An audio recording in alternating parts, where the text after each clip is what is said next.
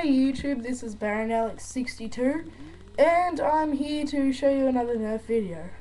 Well actually it's my first, but yeah, anyways, it's on a um, Nerf mini clip. I'll show you the mini clip. Here it is. Yep. So some people will probably say, look, why would you want a mini clip? Like, why would you want to have less ammo? Well, I don't know, but like I decided to do that because I was just wanting to experiment and stuff. So I done that and ended up with a mini clip. Anyways, it holds five bullets compared to your normal size clip that holds seven. Here's the difference. Anyways, so pretty much this part has been cut off so it ends up black. I don't know if you can see. Yep, you can. So it ends up like that. Like that. Anyways, um, look, um, another important thing. I've done the hoodie, the bandana, the um, ballistic goggles, and the hat because of safety reasons. Um, me just taking precautions. Look, because anyone can watch this YouTube video. Anyways, um, yeah. So the mini clip, it works. It, I'll tell you how to do it. I'm not going to show you because I don't really want to make another one.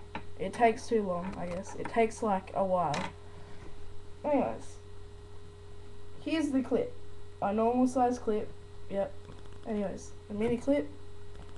What you're going to do, unscrew these two bolts.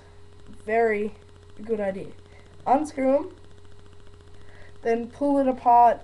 I'm not gonna, I can't show you, but you pull it apart slightly because this part right there, the lock, it holds it in up there so there's no screws.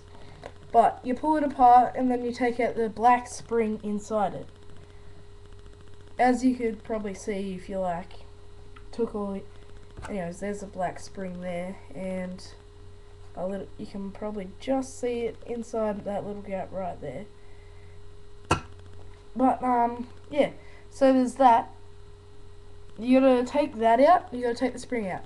Without that spring, if you chop it in half, you might as well throw the clip away. You don't need those screws, so just chuck them away. Um, chuck, and, chuck them away. You need a piece of plastic, like so, like this one, clear, whatever. It just needs to be strong enough to hold the spring and be able to be compact. Um, so you saw this bit off, like that, and then you put and then you sand down the edges so it's smooth, and then you can put an extra piece of plastic wherever it is. This is an iPhone 4 case. I just cut it up after like doing the measurements and stuff and put it on. Anyways, that's my mini clip. Um, I, I'm going to do a firing test with it on another video. But yeah, thanks for watching YouTube. Bye.